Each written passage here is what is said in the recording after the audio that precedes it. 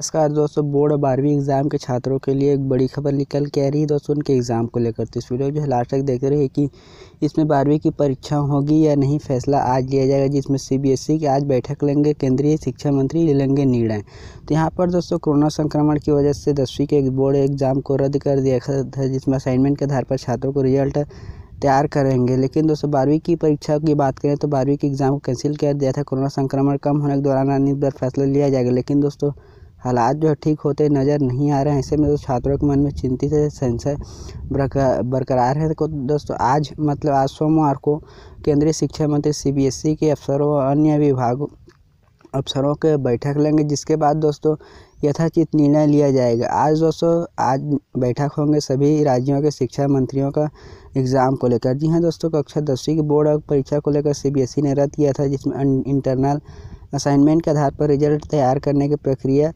जो है शुरू कर दिया था। अगर छात्र इंटरनल असेसमेंट के आधार पर दिए गए अंक से अगर संतुष्ट नहीं होते हैं तो बाद में स्थिति सामान्य होने पर एग्ज़ाम लिया जाएगा। लेकिन दोस्तों, दसवीं परीक्षा कब आयोजित होगी, इसका निर्णय एक जून को लिया जाएगा। एक जून को देश में स्थिति कोरोना को देखते हुए निर्णय लिया जाएगा। उसी दौरान दोस्तों, यह भी निर्णय लिया गया था कि बारहवीं की परीक्षाएँ जो कि मई में होने वाली थी, वह स्थगित कर दिया गया था, जिसको लेकर अभी तक निर्णय नहीं हो पाया है दोस्तों परीक्षा होगी या नहीं, अब कल यानी कि आज आज सोमवार को इसका निर्णय लिया जाएगा, जिसमें महत्वपूर्ण बैठक है, इसमें निर्णय होगी कि परीक्षा आयोजित होगी या नहीं होगी तो कि, किस आधार पर और दोस्तों किस बेस पर होगा? तो जैसे दोस्तों कोई गाइडलाइन यानी कि आदेश आता है, आज आज बैठक है सभी शिक्षा मंत्रियों का, बोर्ड एग्ज़ाम को लेकर। तो जैसे दोस्तों कोई न्यूज़ आता है, कोई भी आदेश आता है, दोस्तों इस चैनल में वीडियो के माध्यम से जानकारी दिया जाएगा तो चैनल को सब्सक्राइब ज़रूर करें दोस्तों। इस वीडियो को आपको सभी मित्रों में शेयर ज़रूर करें।